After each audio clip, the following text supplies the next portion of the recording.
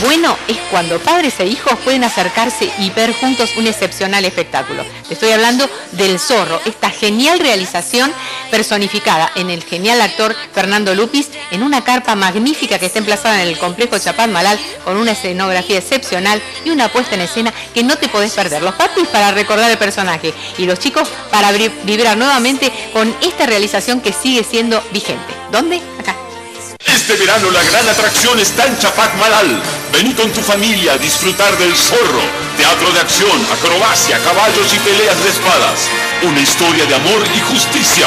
En la Ruta 11, Complejo Chapac Malal, Mar del Plata. De martes a domingo, 21 a 45 horas. Reserva tu localidad en tuentrada.com. Presidencia de la Nación.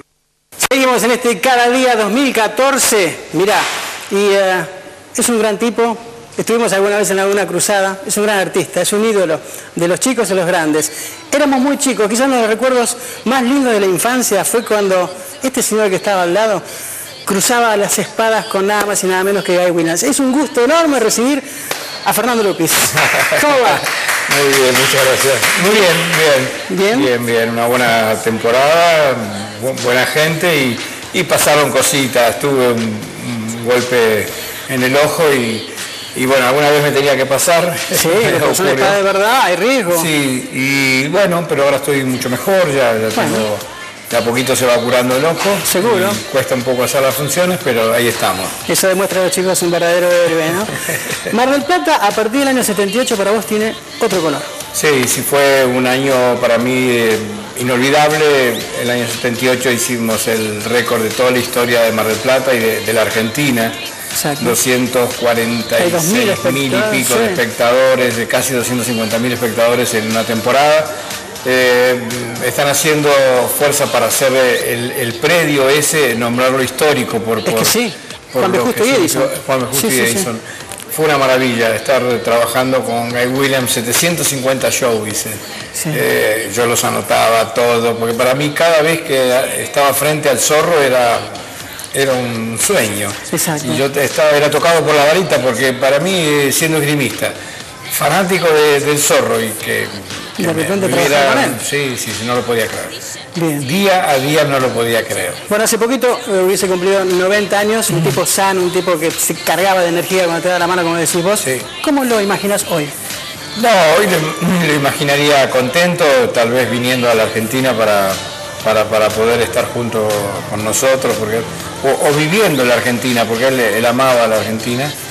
Eh, yo siento que igual está con nosotros, es como fue mi segundo padre y, yo a mi papá también, a Enrique lo tengo en el alma y a él lo tengo acá también. Un gran tipo, un gran egrimista. Gran egrimista, eh, gran persona más que, más que nada, porque él quedó encasillado en el zorro, si bien hizo muchas, muchas eh, películas y series, pero quedó más con el zorro y es un personaje muy noble, así que a, mí tampoco me molestaría que el día de mañana este, me encasillen o ahora... Pero ese sentimiento de fierro te lo pasó a vos, y tenemos que hablar de vos, de cómo te sorprende esta montaña azul, esto cada, cada noche con los chicos, ¿cómo es ese feedback?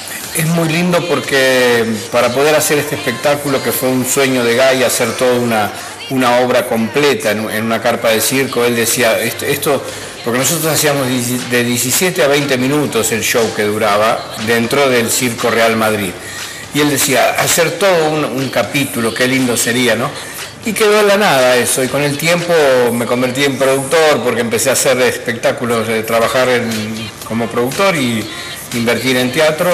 Y bueno, cuando me tocó hacer el zorro dije, bueno, vamos a hacer ahora la octava versión del zorro va a ser el soporte, va a ser una carpa de circo con caballos y como yo tengo muchos contactos con gente de circo, sé dónde se alquilan las carpas, sé, con quién sí, con quién no. Entonces, eh, bueno, golpeé la puerta del Turismo de la Nación, que me dio una ayuda impresionante. Eh, gracias a Dios me dio un subsidio para, gente carenciada, que no tiene poder de medios para poder ir a ver teatro. Así que tenemos una base de 300 chicos y padres y chicos que no tienen posibilidad de pagar un teatro, lo van a ver, disfrutan muchísimo, más otras 300 personas, o sea que estamos metiendo un promedio de 600 personas por día en una carpa que alberga 900 y pico. eh, estamos contentos porque como, actores y como disfrutadores de, nuestros personajes eh, tenemos la cancha llena. Seguro, es, es, un espectáculo muy raro. El teatro de acción que nosotros o reinventamos o impusimos ahora en el, es una cosa nueva. Es, algo nuevo en el mundo que seguramente ya verás algún, algún ruso, algún francés va a hacer lo mismo, nos van a copiar pero ojalá que lo hagan, ¿no? Yo, yo al contrario, yo quiero que lo hagan. Pero nosotros ahora tenemos El Zorro y Robin Hood en Córdoba, o sea que ya abrimos el segundo teatro de acción, vamos avanzando. Pero hablando del Zorro, eh, nosotros disfrutamos muchísimo jugar al zorro. jugamos, jugamos al personaje, cada uno juega, ¿eh? cada Por eso, elegís al elenco, todos se tienen que involucrar de lleno. Sí, y todos tienen que sentirse que son protagonistas, porque desde el soldado o el indio, el, más chico personaje, tiene que tener su protagonismo, y tiene que jugar y sentirlo. Y tenemos actores de trayectoria, como, como Pablo Napoli, como eh, Marcelo Serre, está Araceli Lizazo, que hace el personaje que fue la que enamoró al zorro y está haciendo un personaje de Lola, Betina Capetillo, que es un, avión, una mujer divina, hace acción, pelea, canta, hace todo y es, bonita, es buena persona. Gracias por venir, Fer. No, gracias a ustedes. ¿eh? Gracias, nos vemos, ¿eh? que sigan para adelante. Seguimos en cada día.